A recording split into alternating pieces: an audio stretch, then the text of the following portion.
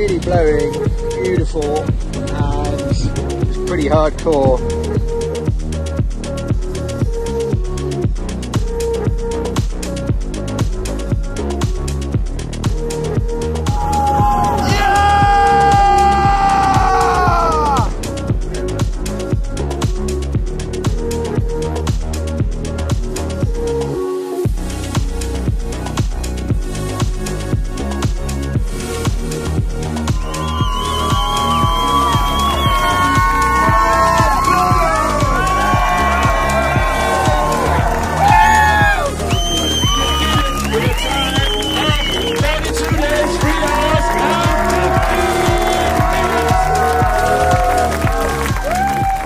I've been on the strings, I've been on the on the manual auto tiller, I've been in the waves, I've been in the wind, but here we are.